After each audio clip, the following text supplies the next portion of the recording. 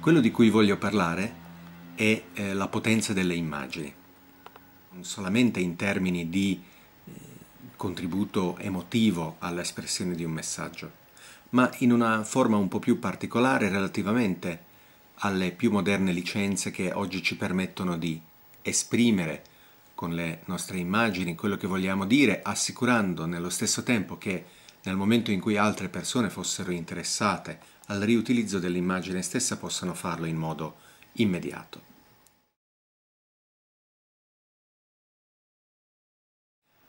Le immagini comunicano tantissime emozioni, sono eh, molto più che non eh, le parole, proprio perché eh, istantaneamente, attraverso l'impatto bidimensionale che hanno nei nostri occhi, possono comunicare un messaggio molto profondo che eh, ci colpisce e che eh, ci fa capire quello che la persona che utilizza l'immagine voleva dire.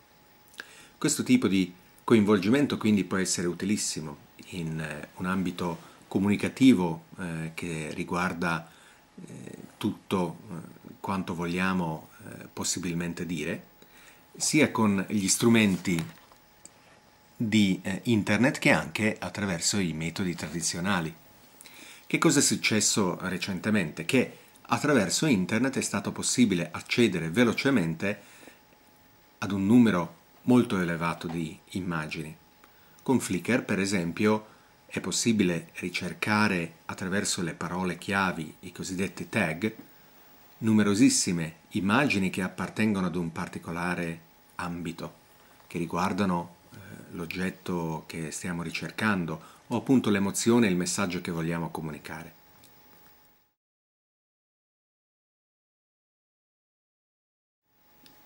La cosa interessante è che attraverso l'utilizzo proprio delle licenze Creative Commons è possibile individuare immagini il cui copyright è stato inquadrato in modo da eh, permetterne un utilizzo molteplice, non solo attraverso il copyright tradizionale che richiede la necessità di un permesso esplicito da parte eh, di chi ha scattato l'immagine per un suo riutilizzo, ma attraverso appunto eh, un permesso dato a priori per certi tipi di utilizzi.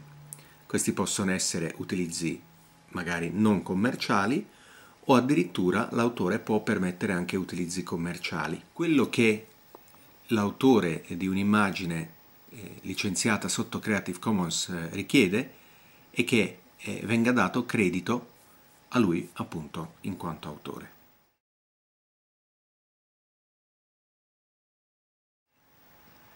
A me personalmente è successo più volte che un'immagine ripresa da me sia stato poi eh, utilizzato da altri e, ed è stato un, qualcosa di molto, molto bello, molto simpatico. E questo tipo di riutilizzo è stato possibile proprio perché avevo dato una licenza Creative Commons alle mie immagini. Ho avuto modo di riprendere per esempio l'isola di Birkia,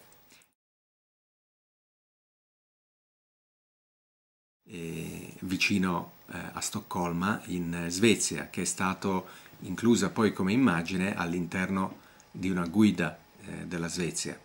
Oppure eh, addirittura due eh, mie fotografie riprese eh, con Daniel Dennett.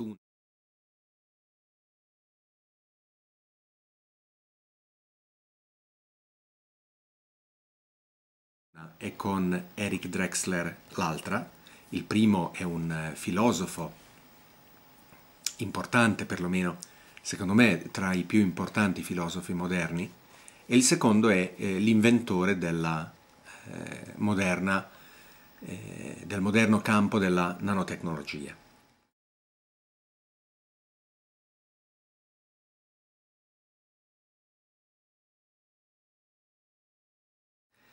Entrambe queste immagini non sono state eh, semplicemente riutilizzate ma anche ritagliate per giustamente eliminarmi dal quadro perché non, non c'entravo e ehm, anche poi sono state utilizzate come illustrazione per gli articoli di Wikipedia su questi due personaggi importanti.